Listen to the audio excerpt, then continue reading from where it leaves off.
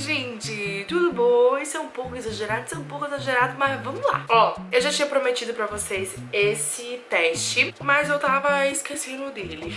Mas aí eu já vim testar pra vocês, que é fazer a batalha de bases em conta-gota. Quem me segue há mais tempo sabe que eu estou um pouco viciada em bases conta-gota. Bases conta-gota de cobertura boa. Por quê? Porque é uma base muito leve pro rosto, com cobertura boa, sem deixar um aspecto pesado. Aí aconteceu. Quando eu estava na, é, no meu mochilão, eu comprei essa aqui da NYX. Inclusive, na época, falei super bem dela. Não, mas não é ruim, não. Mas, enfim, falei super bem dela na época. A minha cor era essa. Eu não sei se a minha cor ainda é essa, porque na época eu tava com outra tonalidade de pele. Depois que eu cheguei no Brasil, eu comprei essa da Candice Berenice, que é a minha favoritinha da vida. E a minha cor é a 6. Não sei se vai dar pra ver daí. E eu queria muito fazer esse teste pra vocês, essa batalha de pra vocês, porque a gente tende a achar que produtos internacionais são muito melhores que os nossos. Vocês vão entender por quê. Eu estava apaixonada por essa, agora eu não tô mais. Quando você tem bases de contra-gota, essas bases muito líquidas, é bom você sempre chacoalhar, tá? De um lado eu vou passar, desse lado direito vai ser quem diz Berenice, vou deixar aqui o nome pra vocês não se perderem, e desse lado da NYX. Isso aqui tá indo pra trás. Arranquei, quebrei. Ué, ih, gente, o que aconteceu aqui? Ah, não, é só enfiar. Uh! Ah, eu vou tirar. Quero isso agora. Não dá nada. Isso é muito exagerado. Eu, hein, não vou fazer uma cobertura completa não, tá? Porque a gente só quer fazer o teste mesmo. Então eu vou começar aqui com a da Quem Disse. Deixa eu pegar o espelho, peraí. Ó, tô aqui com a da Quem Disse. Vou espalhar aqui. A cobertura dessa base é uma coisa de louco. Ó. Olha isso. Olha isso aqui. Vou até dar um zoom pra perder um pouco desse blur que a própria câmera faz. Então, ó, ela já está secando. Ela tem uma, plastic, uma plasticidade linda. Ela deixa você ficar mexendo aqui sem abrir buraco. Ai, gente, eu sou apaixonada por ela. Gosto muito mesmo. Olha a cobertura dela que ela dá. Olha esta cobertura. Entendeu? Agora eu vou aqui na da NYX. Vou aqui botar do mesmo jeito.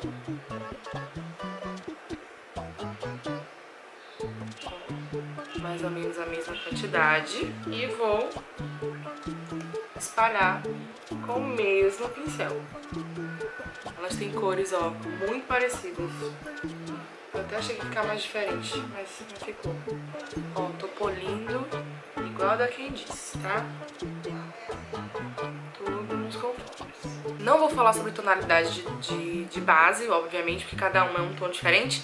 Vocês veem que esse aqui é muito mais coerente pra mim do que esse, mas foi uma questão de compra na hora. Minha pele na época tava mais clarinha. Enfim, não é isso que eu quero trazer. Mas só de começo, eu quero muito falar com vocês sobre cobertura.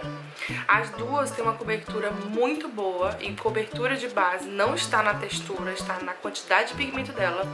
As duas têm uma cobertura muito boa. Eu tenho bastante olheira e as duas fizeram um trabalho muito legal. Se eu quiser sair no dia a dia só amenizada, só com as minhas manchas amenizadas, as duas estão tá no máximo. Ó, essa aqui já tá bem sequinha. Isso que é legal. Essa aqui da, da Disse, ela seca na pele, você não sente gosma na pele, a pele não gruda, ó. Mas ela não perde esse viço, ela é muito bonita. A daqui também, dá uma secadinha. Meu maior problema com, a, com essa base da NYX foi uma vez. Na minha cabeça as duas eram ótimas e eu fiquei muito feliz quando eu achei essa, porque a NYX é mais difícil de achar, eu achava que elas, as duas né, tinham essa coisa parecida, então, poxa, achei meu, meu... Aí um dia que eu saí com essa da NYX e, querida, tomei uma chuva. Aí que veio a miséria. Vou pegar minha toalha, porque eu tô com a roupa clara, pra não sujar a roupa. Vou botar minha toalha, porque eu não sou besta. Minha toalha aqui. Bem belíssima. E aí, vamos tomar uma chuva comigo? Ah, vamos tomar uma chuva. Tô aqui com um negocinho de spray, ó. Sempre quis fazer isso aqui no YouTube. Já vi várias, eu sempre quis fazer isso. Ó, tempo pra elas assentarem. E agora vamos tomar uma chuva. Ó, que medo. Uma chuva leve. Ai, uma chuvinha levíssima, tá? Chuva leve. Nenhuma das duas teve nada. Tá tudo ótimo, ó. Gotinhas no lugar, mas essa chuvinha aqui não, não dá reggae, né? Vamos tomar uma chuva pior.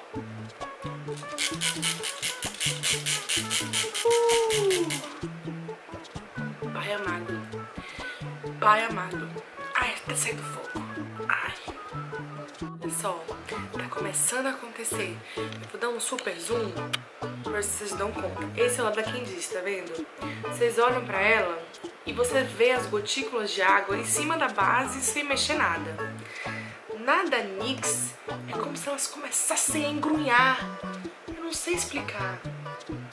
Vocês conseguem perceber que a pele começa a ficar meio grossa, uma coisa estranha? Vou deixar mais um tempo. Vou esperar dar uma secada nessa água aqui pra vocês verem. Olha a minha testa. Olha a água secando na testa da quem disse. E olha a água secando na testa da NYX. Tá vendo isso aqui? Que coisa estranha. Olha. Olha, menina. Coisa estranha na pele que ela faz. Olha aqui, parece que tem uma sardinha branca. Olha as gotinhas daqui ainda secando. Olha aqui. Parece umas sardas. Elas, é, é muito estranho o que ela tá na pele. Olha. Dá pra ver? Dá pra ver que ela deixa umas manchas? Onde ela, a gota ficou, deixa mancha? Olha aqui na, da quem disse. Ó, passa o dedo. Ó, nada acontece. Nada, nada. A pele tá aqui, ó. Ó, nariz. Ai, sumiu o negócio aqui, cara. ó, nariz é quem disse. Vou bater pra água. Sumir. Base tá lá. Ó, só parada aqui. Só parada. Vocês já conseguem ver, né? Olha as bolhas, como fica branca. Aí eu vou bater. Vamos bater. Olha lá. Que coisa estranha. Como fica manchado. Ah, um super zoom pra vocês verem muito de perto. Olha as manchas daqui. Olha isso, que coisa estranha. Olha aqui a pele da disse. Sem nada. E olha aqui. Isso aqui tem uma doença, um negócio. O que, que acontece? É uma base ruim? Não é que seja ruim, sabe? Ah, essas manchinhas me incomodam muito. Parece um fantasma, né? Só com a base. Bom, agora já secou, já estabilizou. O que eu quero dizer pra vocês é o seguinte. É, eu já fiz uma matéria aqui antes nem lembro o que, que era. Mas é só pra lembrar pra vocês que vocês parem com essa coisa de dizer que as coisas de fora são melhores. Essa base da NYX custa 90 reais, a da Candice Berenice. Quando eu comprei na época, eu acho que era menos de 70, mas eu acho que agora tá 74. E é muito maior. Olha esse aqui. Olha, olha a diferença de tamanho. A da NYX tem 13 ml e a da Candice tem 30, entendeu? 13 ml custando 90 e manchando quando molha. E 30 ml custando 74 e maravilhosa. Cobertura mara... Gente, te amo. Então para com essa besteira de só comprar máquina, de só comprar, de gastar rios de dinheiro com as coisas que são muito caras, porque é muito caro, então deve ser bom. Não é assim. Mas não é assim mesmo. Que eu bem lembro uma vez que eu comprei uma a caneta delineadora da MAC, me custou 100 batalhas. Querida, eu joguei fora. Porque é a pior caneta delineadora que eu já comprei na minha vida. Eu joguei fora, não consigo usar. Então, esse meu vídeo de hoje foi uma batalha de Brasil aí contra a gringa. Pra vocês verem que nem tudo que é da gringa é melhor do que o da gente. Tá? Então é isso.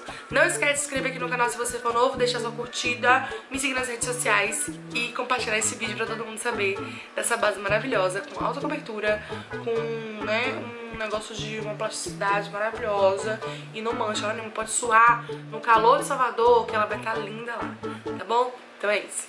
Um beijo, fico até o próximo vídeo.